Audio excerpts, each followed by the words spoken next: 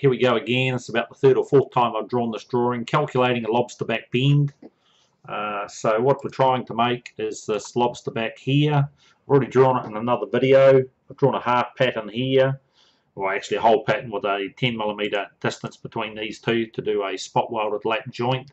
This pattern I just did a, um, I didn't put a lap in it because it would be safe for welding it together with, you know, if it was a bit of stainless and you wanted to fully weld it, so it doesn't have a lap, it'll be just butt welded on the joints. The portion of information that we need, uh, the only portion that we need is this uh, triangle here with this outside leg, this information here with our uh, semicircle or plan view on the end of it, or half plan view. Uh, that's the only information we need to do to calculate a lobster back bend. You don't have to draw them out graphically uh, once you've um, learned how to um, calculate them. So that's what this video is about. So uh, there it is side on.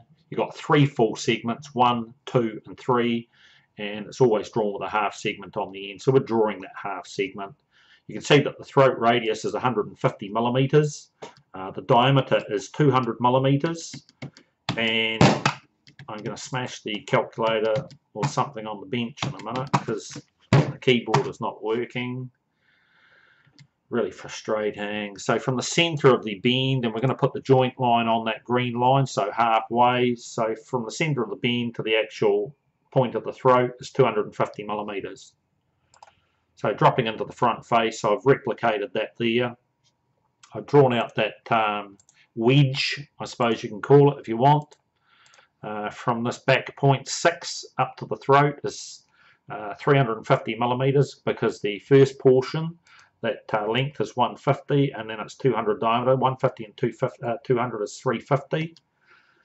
So that's what we had to draw out. And I've drawn my half plan on the end here and I've numbered it from 1 through to 6. If I had my full plan it would go up around the top 6 back to 0 and that would complete the pattern. So what we need to do is determine height A and minus that after we've determined height B. So B minus A gives us the data or the information or the elevational height that we're actually looking for. That's the critical piece of information. So being a right angle triangle, uh, we're looking for the opposite side on those triangles given the fact that we've got the adjacent side and it's tan equals opposite uh, divided by adjacent. So into the front page, um, bring this information down here. So tangent equals opposite times adjacent. If we transpose that formula so the opposite is on one side, we end up with tangent 11 and a half degrees because that's what it is. Uh, let's go back to there. It's 11 and a half, uh, sorry, 11 and a quarter degrees. So 11 and a quarter degrees times 150 millimeters for the throat means that A equals 29.8369 millimeters. You won't be working to 0.8369 millimeters. You'll probably round that to 30 millimeters. Just because I'm doing it in the, uh, in the computer, it gives it quite a high degree of accuracy. I'm just going to actually round it to 29.84. The height for B, this line here, uh, in this calculation is 10 125 uh, sorry 10 11.25 times 350 because we're going right from the very throat to the heel. So that gives us a height at that point of B of 69.6 I'm going to round it to 69.62 uh, so that's the very first thing I'm going to do is I'm actually going to lay those two links in, 29.84 and 69.62, and on the sheet. Uh, my rollout length for 200, uh, 200 millimeter diameter uh, over here, uh, 200 millimeters times 3.142 equals 628.4 millimeters. That's the length of this line here. I've already done that. Um, I could show you that on the properties. Uh, where is it? Over here. Uh, there it is down there, 628.4 millimeters. So I've already worked that out. Because the increments step round the bend from when we lay our lines and we go from 0 to 1, 1 to 2, 2 to 3, 3 to 4. So there's 12 increments. If we've got 6 on this side and 6 on the other side of the plane, So coming over here, 628.4 divided by 12 gives me an offset of 62, sorry, 52.36. So I'm going to lay those offsets in. I've actually already numbered them. So the first offset I was going to do, offset 29.84 put that one in there. Next one was 69.62. Uh, Lay that in there. And then coming across the ends with a straight line. There we go. And now I need to break it into my 12 increments of 52.366. So an offset of 52.3666. We'll just dump that in there quickly. Here we go for our offsets.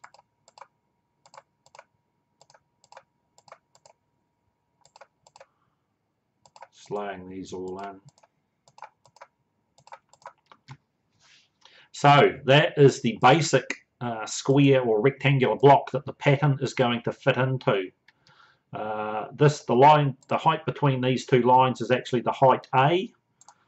Uh, so it's 29.84 and the the incline actually goes from um, that line from A across to this point out here that I've highlighted.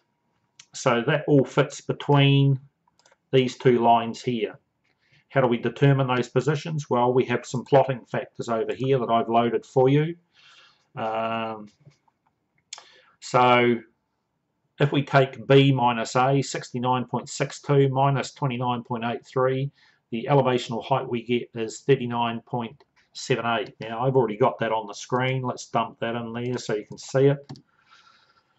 So you can see my overall length, overall height had to be 69.62.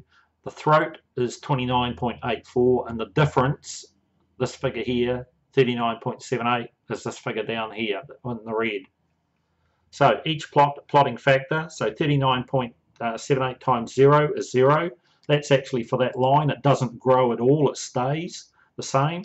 The next increment is a elevational gain between this point and this point here as a portion from this point here to this line up here. This is uh, this distance here is 0.067 of that vertical height. So coming over here, I've done the calculation for you for all of these. 39.78 times 0.067 gives us a height of 2.67. That's the next one I want to lay in. So there it is, 2.67. Take it and grab it and stick it in there. The next one is 39.78 times 0.25 gives 9.95. So offset 9.95. There it is. Next one is 39.78 times 0.5, so it's halfway between uh, the, this, this line of A and B. So 37, uh, 39.78 times 0.5 is 19.89. So offset of 19.89. There it is there. The next one, 39.78 times 0.75 gives 29.84. So offset of 29.84. And lastly, 39.78 uh, times 0.933 gives 37.13. There's my offset. Did I say? 37.13. And computer's freezing. And there it is there. So I've got all the information I need. Come on, it's freezing up. We're in a hurry people are trying to learn something. So I now need to draw the curve between all of these. So I'm doing it as a spline. You will possibly use a French uh, flexi curve.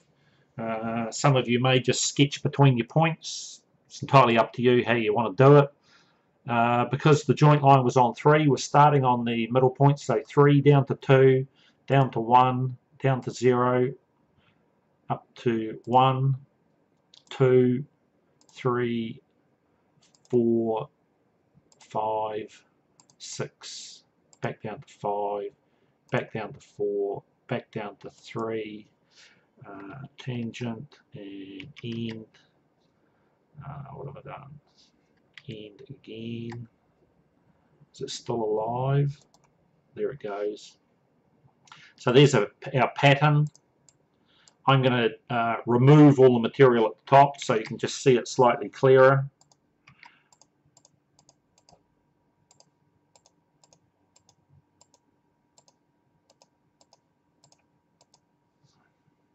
This end here.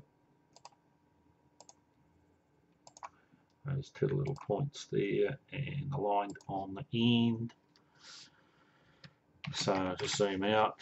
Uh, I'm going to save that because I don't want to lose it.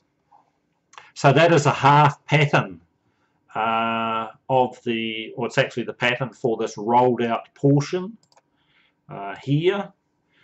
And if you wanted to put a lap on that, you could, uh, let's go back to this other one, this one here. So the portion I've just drawn is exactly the same as that portion there. And I've put an offset in here of 10 millimeters between these two. And I've mirror imaged this line across to this point here.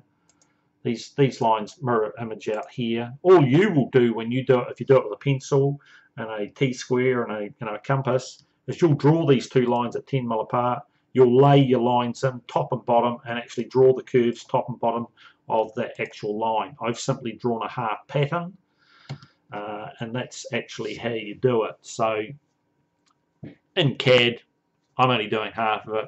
When you're drawing a pattern, you're going to make a lobster back bend, you're going to spot weld it, put a lap through the middle. If you're going to butt weld it, you're just not going to put a lap on it at all. So what you need to learn or watch the video a few times, use this data over here on the up the top. Uh, this orange portion is where I got um, you know how I worked out my segments for 90 degrees. I had three full segments and two halves and that told me that I had to use uh, a figure for tan of 11.25 degrees. If you're doing three segments you'd use tan of 15 in the equation above and if you were using the mouse is freezing again if I was using six full segments it would be tan 7.5 in these equations here. And if I was using eight segments because I was making something really large I would use a 10 figure of 5.625 so if you can watch the video a few times see where I've got the information from. Hopefully that will help you uh, to learn how to calculate out a lobster back bend uh, with a bit of practice, it's quite simple. You're not expected to get it uh, up to speed on it after the first attempt. It should take you sort of six to ten attempts at drawing them out to get them right. So don't beat yourself up if you don't get it right the first time.